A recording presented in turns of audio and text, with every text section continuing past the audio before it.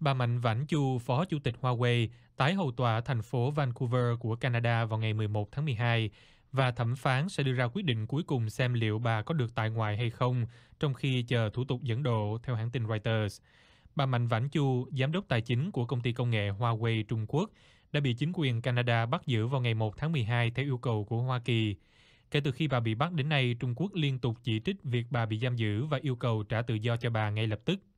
Bà Mạnh 46 tuổi, đối mặt với cáo buộc của Mỹ rằng bà đã nói dối các ngân hàng đa quốc gia về việc Huawei kiểm soát một công ty hoạt động ở Iran, khiến các ngân hàng này có nguy cơ bị phạt nặng vì vi phạm các lệnh trừng phạt của Mỹ đối với Iran, theo hồ sơ của tòa án.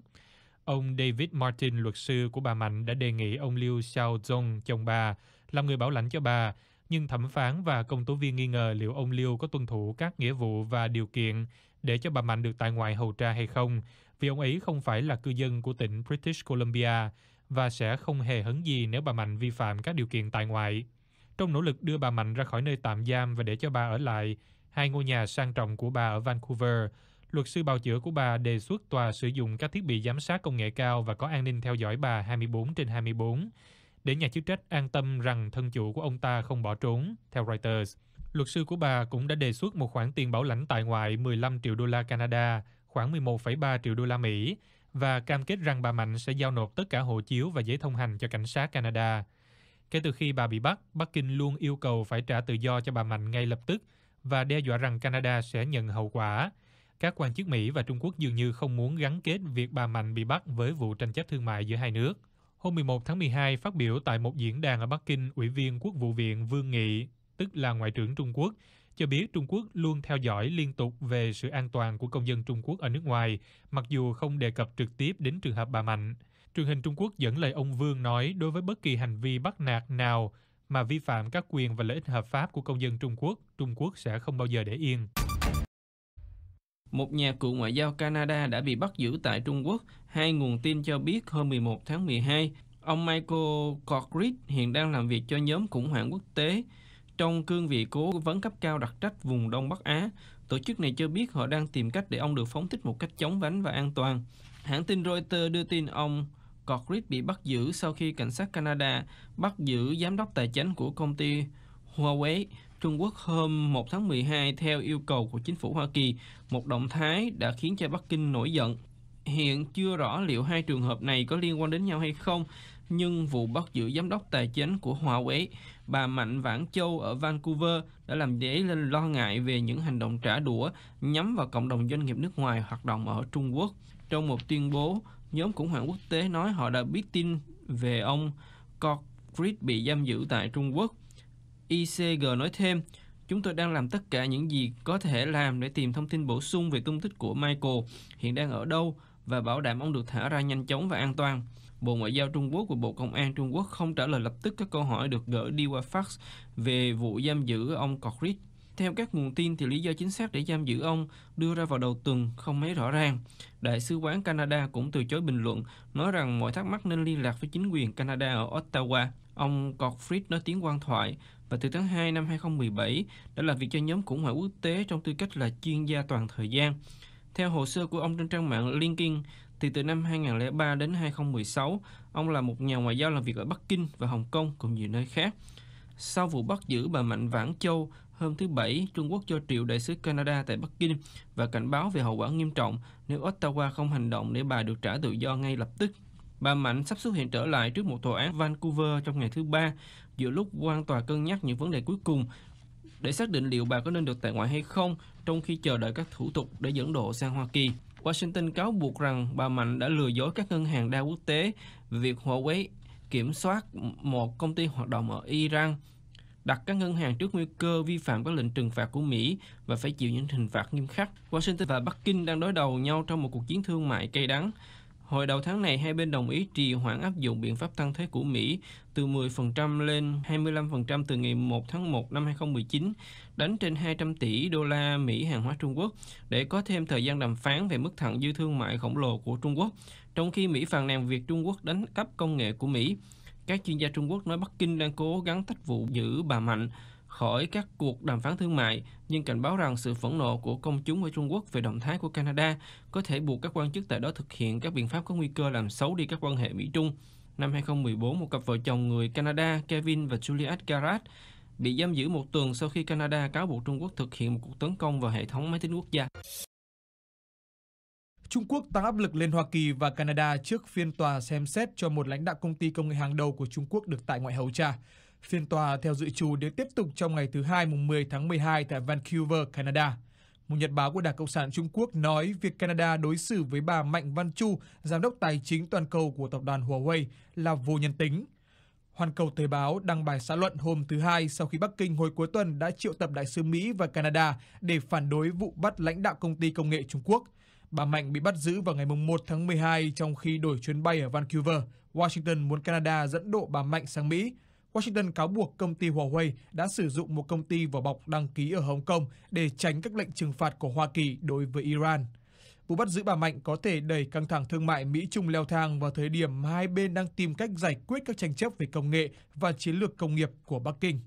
Cả hai bên đều tìm cách tách riêng hai vấn đề, ít nhất là cho tới thời điểm này. Đây là một vấn đề tư pháp hình sự, đại diện thương mại của Hoa Kỳ Robert Lighthizer nói trên kênh truyền hình CBS hôm Chủ nhật. Ông cho biết, chuyện này tách biệt hoàn toàn với bất kỳ điều gì tôi đang làm hoặc bất kỳ điều gì mà các giới chức hoạch định chính sách thương mại đang làm. Chúng tôi có rất nhiều vấn đề rất lớn và rất quan trọng. Chúng tôi có những người nghiêm túc làm việc với các vấn đề đó và tôi không nghĩ rằng họ sẽ bị ảnh hưởng bởi chuyện này.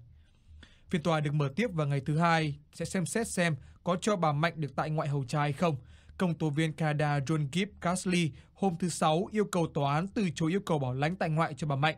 Thẩm phán William Archer hồi cuối tuần cho biết ông sẽ suy nghĩ về các điều kiện bảo lãnh tại ngoại. Thứ trưởng Ngoại giao Trung Quốc Lạc Ngọc Thành đã triệu tập đại sứ Canada John McCallum hôm thứ Bảy và đại sứ Mỹ Terry Branstad hôm Chủ nhật. Ông Lạc nói việc giam giữ bà Mạnh là cực kỳ nghiêm trọng và yêu cầu Hoa Kỳ ngay lập tức bỏ lệnh bắt giữ, theo Tân Hoa Xã. Ông Lạc cảnh báo cả Canada lẫn Mỹ rằng Bắc Kinh sẽ có hành động tùy thuộc vào phản ứng của hai nước này. Khi được hỏi hôm thứ Hai rằng những hành động đó có thể là gì, một phát ngôn viên Bộ Ngoại giao Trung Quốc nói rằng nó hoàn toàn phụ thuộc vào phía Canada. Tỉnh British Columbia của Canada đã hủy một chuyến công tác của phái đoàn thương mại tỉnh này đến Trung Quốc trong bối cảnh lo ngại rằng Trung Quốc có thể bắt giữ người Canada để trả đũa cho việc giam giữ bà Mạnh. Sự trả đũa thương mại nhắm vào các công ty của các quốc gia bất hòa với Trung Quốc đã ngày càng trở nên phổ biến khi Bắc Kinh ra sức thể hiện sức mạnh của nền kinh tế lớn thứ hai thế giới của họ. Nhà chức trách Trung Quốc đã đóng cửa hầu hết các siêu thị của Lotte mở ở Trung Quốc sau khi công ty này bán khu đất của họ Hàn Quốc cho chính phủ Seoul để cho Hoa Kỳ thiết đặt hệ thống phòng thủ tên lửa mà Bắc Kinh cực lực phản đối. Ít nhất có hai công ty đang tìm cách hỗ trợ Huawei.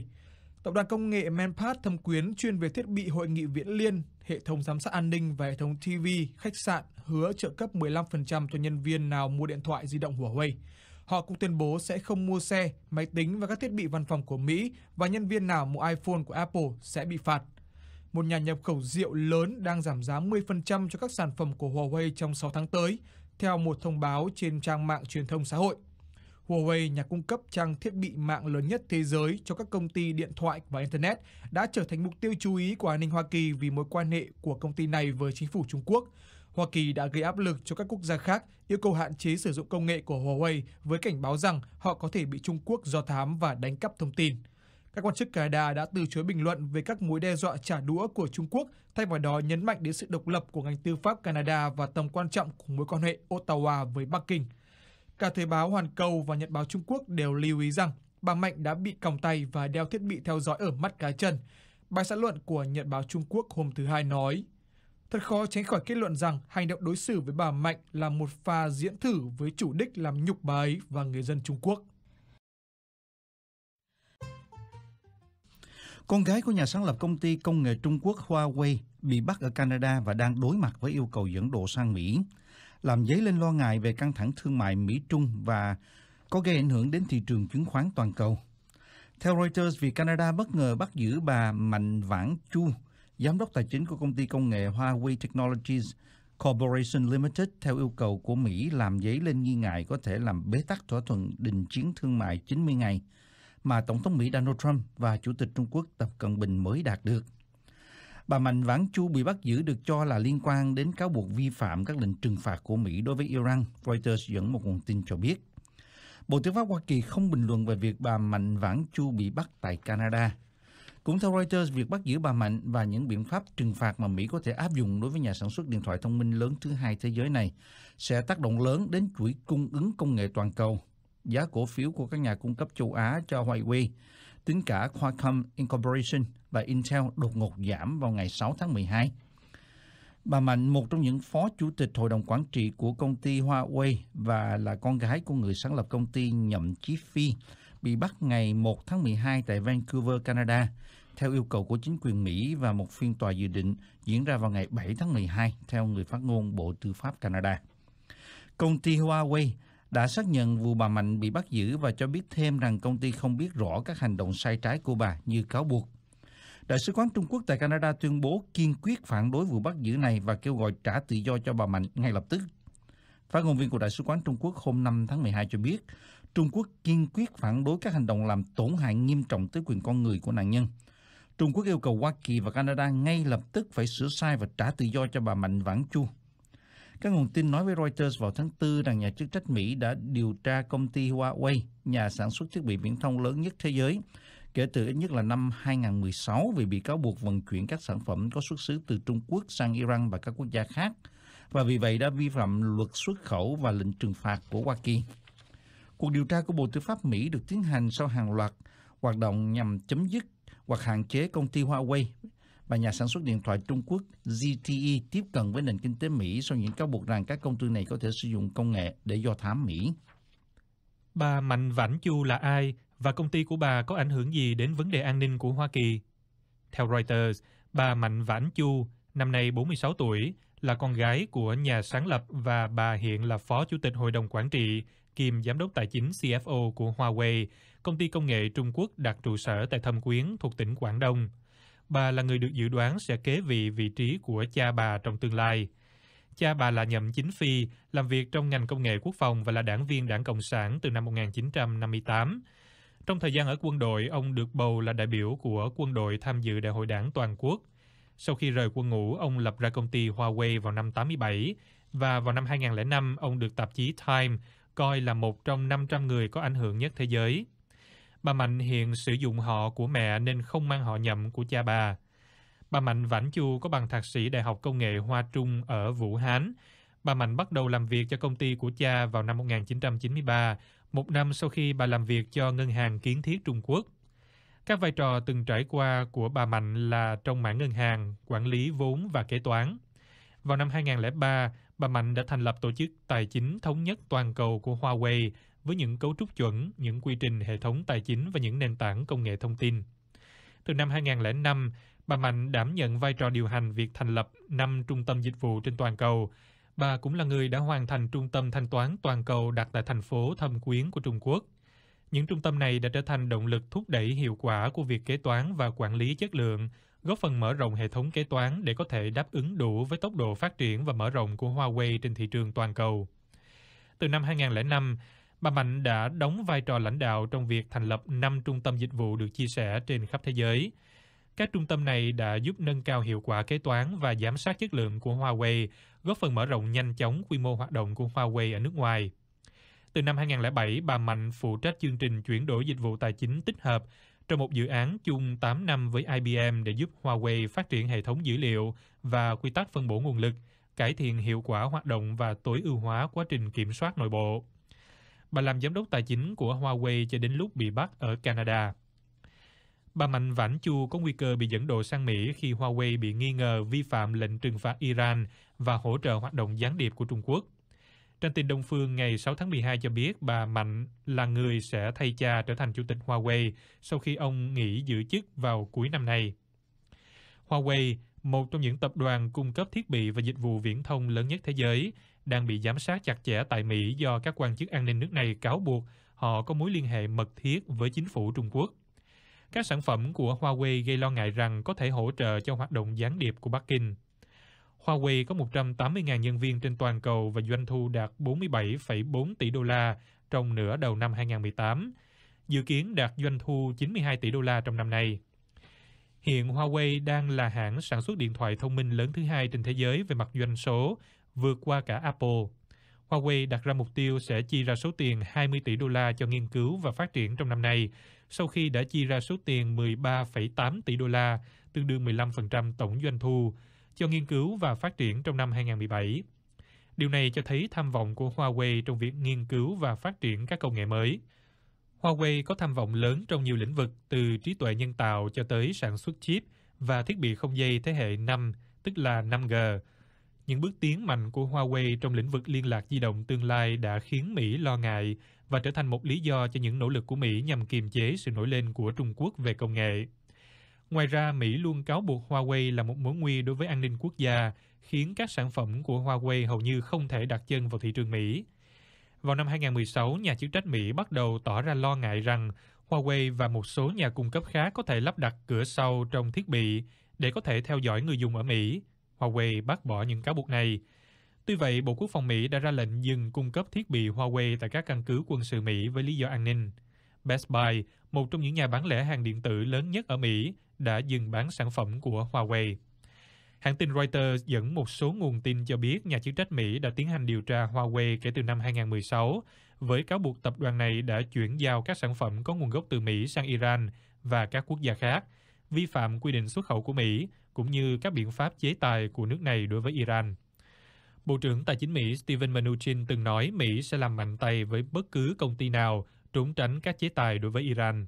Sau khi bà Mạnh bị bắt, Thượng nghị sĩ Ben Sass của bang Nebraska một ủy viên của Ủy ban Quân lực và Tài chính Thượng viện đã lên tiếng ca ngợi hành động của phía Canada. Ông nói Huawei đã vi phạm lệnh cấm vận Iran của Mỹ. Nói thêm, phía sau một số hành vi xâm lược các nước khác của Trung Quốc rõ ràng được chính phủ ủng hộ, nhà đương cục Bắc Kinh thường lấy các công ty tư nhân để núp bóng. Vụ bắt giữ một thành viên gia đình của người sáng lập Huawei cho thấy căng thẳng giữa Mỹ và Trung Quốc đã leo thang nhanh chóng đến mức nào. Báo New York Times trích lời T.J. Pample, giáo sư khoa học chính trị tại Đại học California nhận định. Tin bà Mạnh Vãn Chu bị bắt làm cổ phiếu của Huawei bị sụt giảm ngay lập tức, nhất là khi cuộc chiến tranh thương mại Mỹ và Trung Quốc tiếp tục là vấn đề lớn cho Bắc Kinh. Vụ bắt giữ này có thể bị phía Trung Quốc xem như là một vụ tấn công vào đỉnh cao của thế giới doanh nghiệp Trung Quốc, vì Huawei đến nay được xem là công ty công nghệ toàn cầu nhất của Trung Quốc, với hoạt động phủ sóng ở châu Phi, châu Âu và châu Á.